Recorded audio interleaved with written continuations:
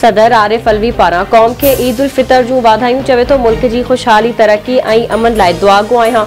असां विसारे वेठा आहियूं त क़यामत ॾिहाड़े अलाह आॾो बीही माफ़ी घुरणी पवंदी। अलाह ताला पाकिस्तान खे तरक़ी ख़ुशहाली अमन अता फ़रमाए।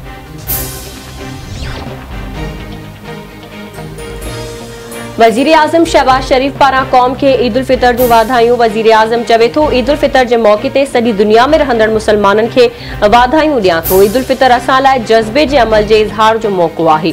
हीउ ज़रूरतमंदनि मोहताजनि ऐं जी मदद जो ॾिहाड़ो आहे।